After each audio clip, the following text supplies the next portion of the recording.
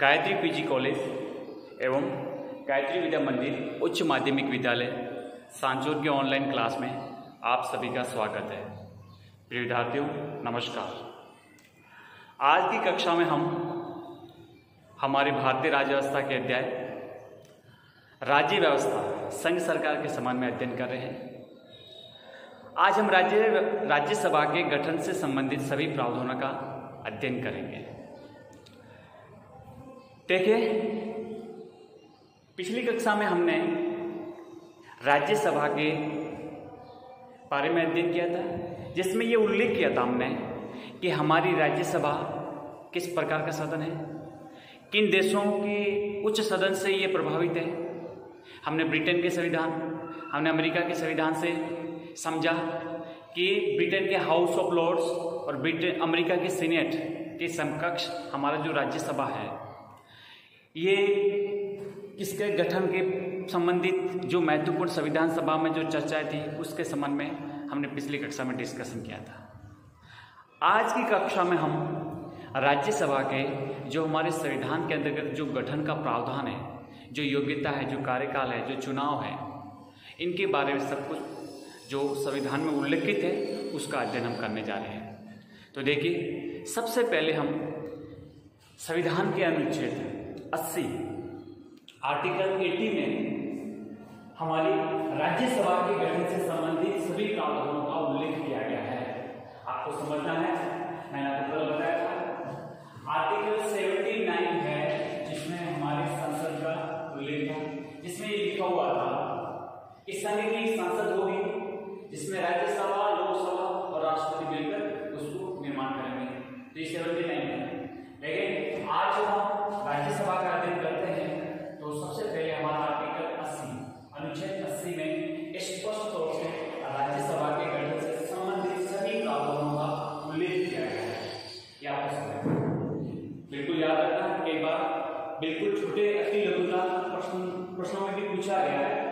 कि राज्यसभा के गठन का प्रावधान संविधान के किस अनुच्छेद में आपको स्पष्ट तौर से याद रखना है, वो अनुच्छेद है अस्सी।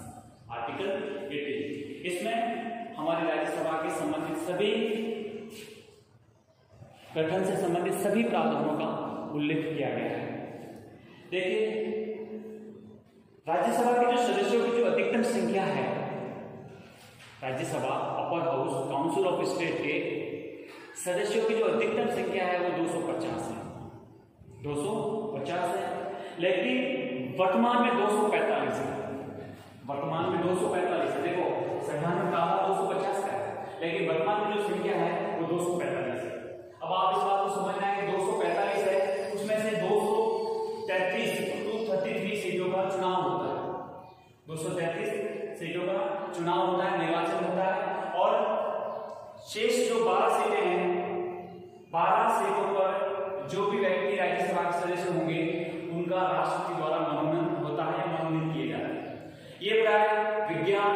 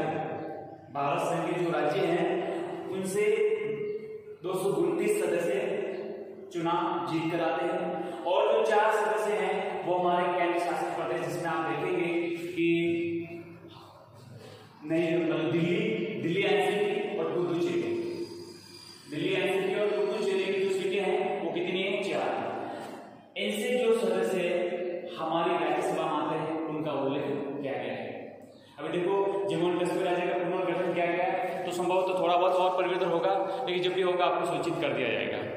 तो आपको ये समझना है कि कुल हमारे राज्यसभा की अधिकतम सीटें कितनी हैं? 250 वर्तमान में कितनी है? 245 245 में से 233 सीटों का चुनाव होता है। 12 सीटों पर मनोनीत किए जाते हैं। अब ये जो मनोनीत किए जाने वाले हैं, वो साहित्य, विज्ञान, कला, समाज सेवा और खेल जगत से होते हैं। इन क्षेत्रों से जो भी अपना उत्कृष्ट और सराहनीय कार्य किया है, उन लोगों को राष्ट्रपति मनोनीत करते हैं। हमारे अपर हाउस अर्थात राज्यसभा, उच्च सदा, उच्च सदन, या फिर आप दूसरा चैम्बर भी कह सकते हो। ठीक है? यह स्पष्ट किया एक बात और स्पष्ट करनी है कि दो सौ उनतीस राज्य से होते हैं, चार सीटें होती है, वो हमारे केंद्र शासित केंद्र शासित या यूटी जिनको कह सकते हैं यूनियन टेरिटरी ये स्पष्ट हुआ, राज्यसभा के 233 जो जिनका चुनाव होता है उन सीटों का। इसके बाद देखिए आप, एक प्रश्न और है। हमारे जो संविधान की चौथी अनुसूची है, हमारे संविधान की कुल कितनी अनुसूची है? बारह बारह में से जो चतुर्थ अनुसूची है, यानी फोर्थ शेड्यूल है, उसमें हमारे सभी राज्यों की, राज्यसभा में जो सीटों का जो आवंटन है, वो किया गया है। इसलिए आपको महत्वपूर्ण प्रश्न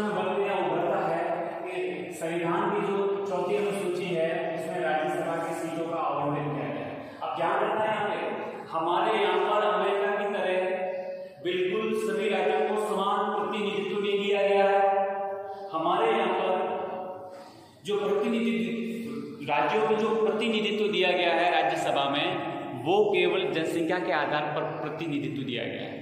कहने का तात्पर्य, जिनकी जनसंख्या ज़्यादा है, उनको ज़्यादा सीटें मिली है, जिनकी जनसंख्या कम है, उनको कम सीटें मिली है।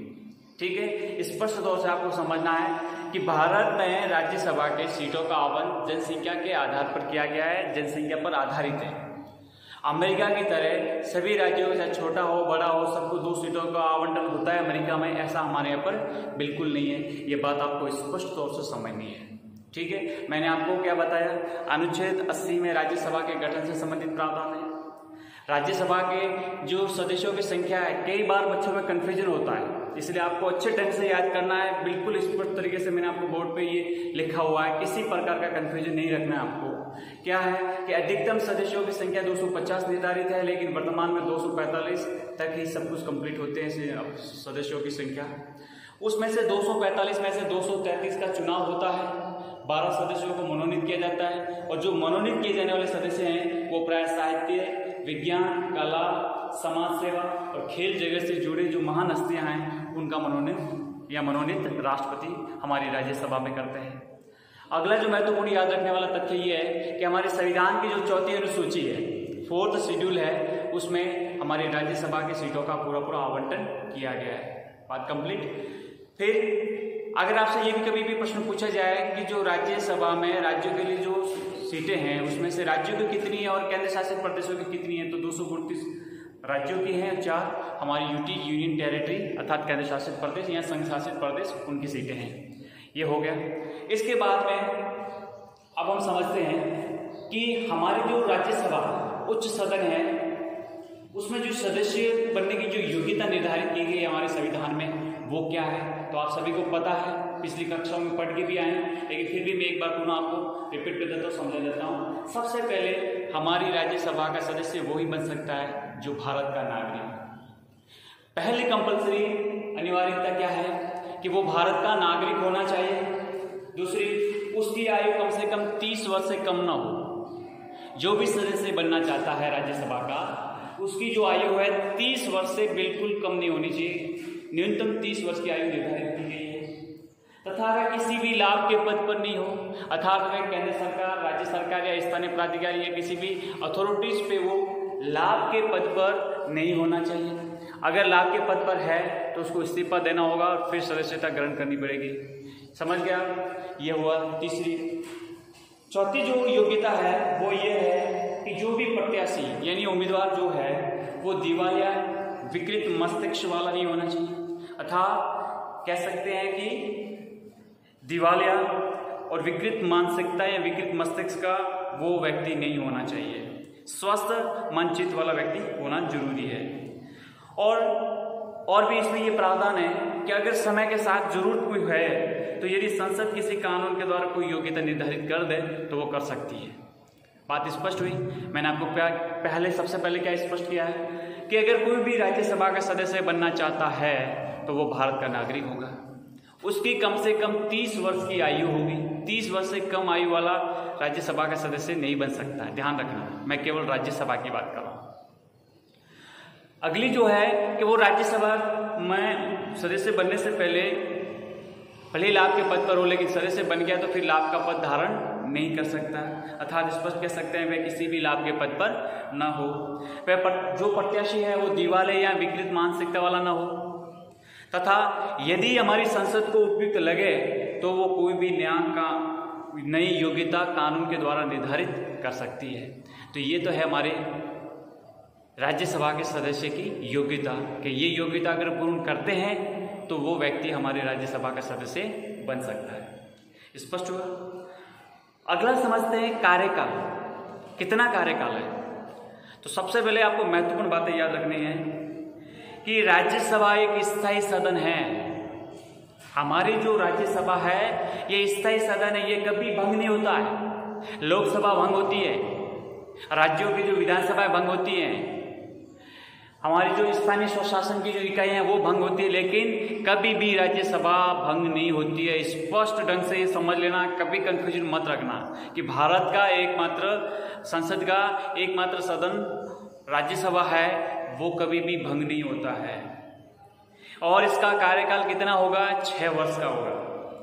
छह वर्ष का कार्यकाल है सिक्स ईयर हमारे यहाँ पर लोकसभा का पाँच वर्ष है, विधानसभा का पाँच वर्ष है, राष्ट्रपति, उपराष्ट्रपति पाँच वर्ष के लिए है। लेकिन हमारी जो राज्यसभा है, इसका कार्यकाल कितना है? छः वर्ष। स्पष्ट तौर से। इसे राष्ट्रपति कभी भंग नहीं कर सकते।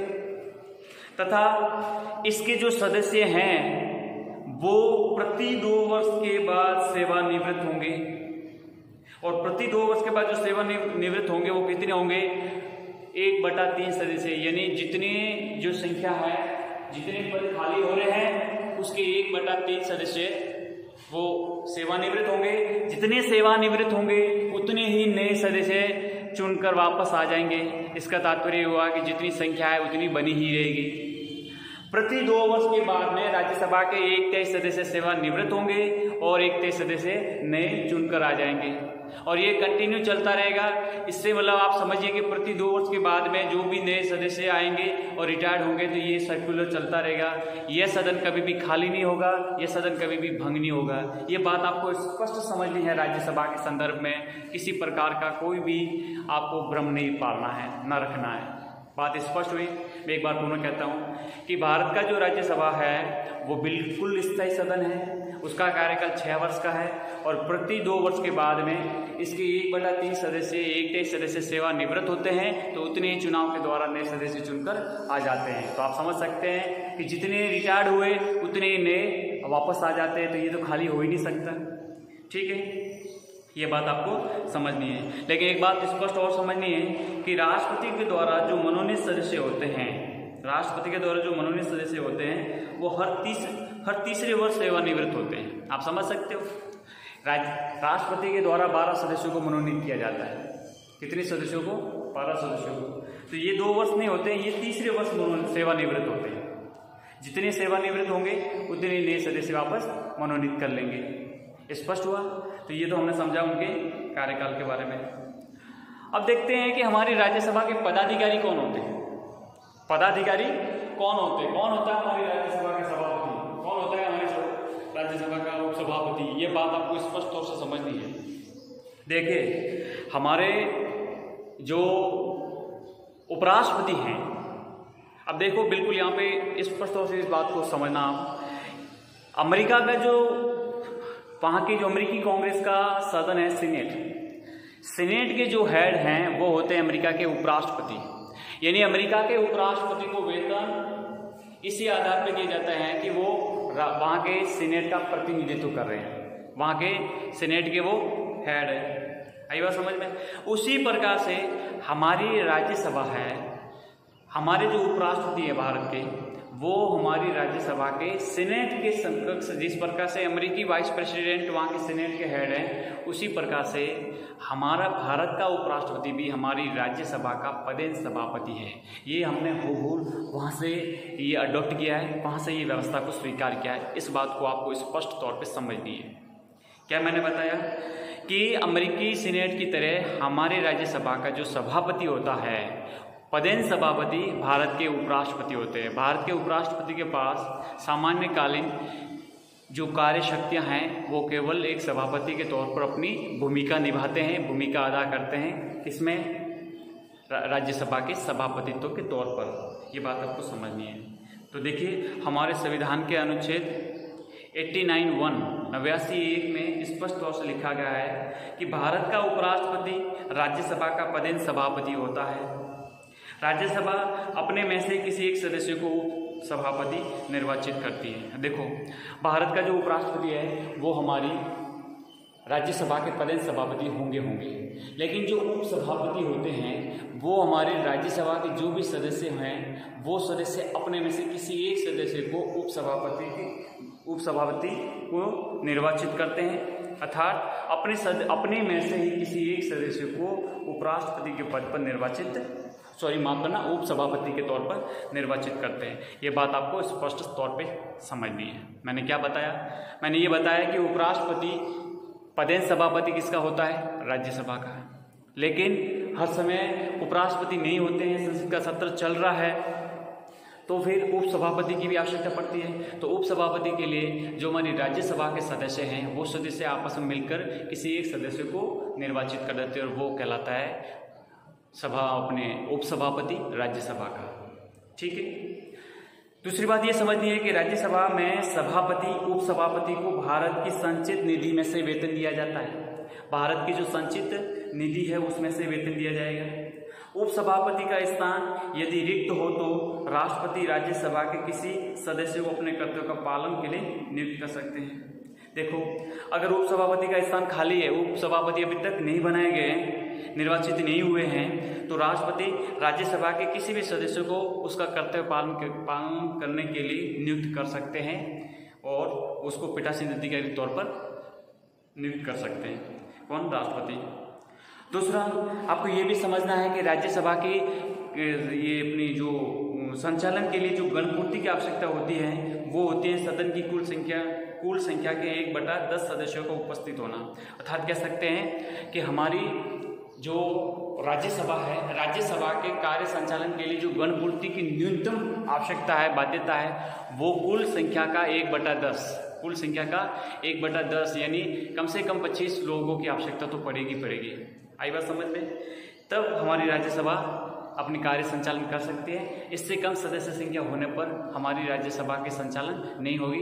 वो उस दिन का सत्र उस दिन का जो सेशन है, वो एडजॉन हो जाएगा, स्थगित हो जाएगा। ये बात आपको स्पष्ट समझनी है। तो ये आप यहाँ पे स्पष्ट हो रहा है कि कुल सदस्य संख्या का एक बटा दस गणपूर्ति होना, गणपूर्ति के लिए इतने सदस्यों का होना ज़रूरी है। अगर संख्या इससे कम है तो सभापति सदन को स्थगित कर सकते हैं। आई बात समझ में स्पष्ट हुआ? अब आपको यहाँ पे ये समझना है कि जिस प्रकार से लोकसभा अध्यक्ष और उपाध्यक्ष होते हैं, उसी प्रकार में राज्यसभा के सभापति और उपसभापति के लगभग समकक्ष दोनों को माना जाता है। तो ये हमने समझा। हमारे राज्यसभा के गठन, सदस्यों की योग्यता, कार्यकाल, इनके बारे में। अब देखिए, चुनाव के संबंध में प्रावधानों को समझ लेते हैं कि चुनाव हमारे राज्यसभा के किस प्रकार से होते हैं, आप समझ देखिए। राज्यसभा के जो चुनाव हैं वो आनुपातिक प्रतिनिधित्व के सिद्धांत के अनुसार होते हैं।